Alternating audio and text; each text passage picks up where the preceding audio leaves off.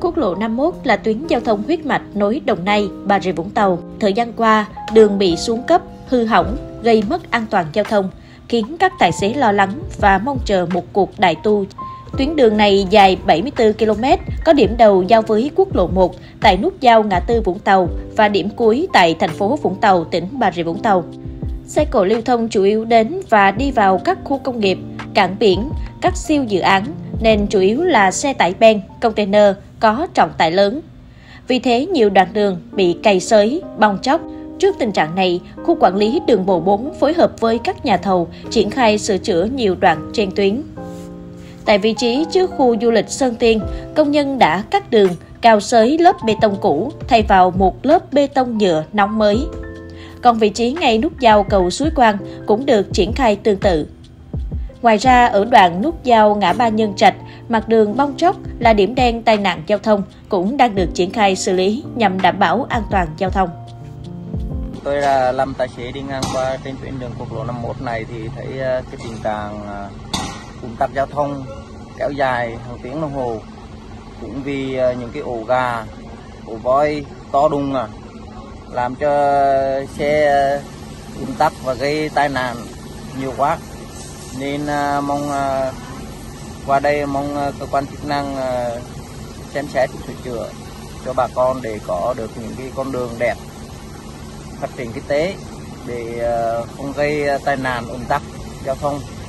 cho bà con thuận tiện trên đường. Mỗi lần di chuyển trên tuyến đường này mất rất là nhiều thời gian. Ngổ gà ổ voi càng để lâu như vậy cái ổ nó càng lớn hơn và càng khó di chuyển hơn. Dẫn đến uh, người dân khi di chuyển thẳng qua đường này gặp rất là nhiều khó khăn. Thì cũng qua đây thì nhờ cơ quan chức năng uh, có hướng khắc phục làm cho tuyến đường được uh, tốt hơn để người dân người dân uh, thuận lợi trong việc uh, di chuyển làm ăn và sinh hoạt cũng giống như anh Thiện và anh Hùng, nhiều tài xế lưu thông trên tuyến cũng tỏ ra phấn khởi trước việc ngành chức năng đã lắng nghe tiếng lòng của người dân, kịp thời sửa chữa các khu vực hư hỏng nặng để trước mắt giúp bà con đi lại thuận lợi, đảm bảo an toàn. Tuy nhiên về lâu dài, các tài xế người dân đều mong muốn ngành giao thông vận tải sớm có chủ trương sửa chữa, nâng cấp toàn diện tuyến đường này. Trong quá trình tiếp nhận thì khu thực hiện công tác bảo quản là duy tu thường xuyên trên các tuyến quốc lộ như là vét kênh mương rồi vá ổ gà. Và đề xuất với cục đường bộ để bố trí kinh phí để sửa chữa đột xuất và sửa chữa định kỳ. À, tuy nhiên thì trong thời gian vừa qua thì với lưu lượng quốc lộ 51 tăng đột biến gấp 7 8 lần so với à,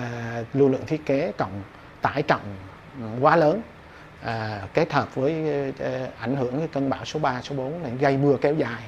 À, nên những cái Ờ, cái cống mặt đường mà hơn 10 năm này chưa có trung đại tu nên dẫn tới nó phát sinh ra hư hỏng ra nặng. Từ đây tới cuối năm ừ, là cái giao thông trên quốc lộ 51 tương đối êm thuận và thuận lợi an toàn. Được biết, hiện nay các đơn vị đang sửa chữa nhiều đoạn hư hỏng trên quốc lộ 51, sau đó sẽ tiếp tục xử lý điểm đen, hệ thống thoát nước, các điểm hư còn lại trên tuyến quốc lộ này cho đến cuối năm đảm bảo đường sẽ cơ bản đẹp trở lại vào cuối năm nay để bà con đi lại an toàn. Đặc biệt trong ngày 10 tháng 10, Bộ Giao thông Vận tải đã công bố tình huống khẩn cấp về thiên tai để khắc phục hư hỏng trên tuyến quốc lộ 51.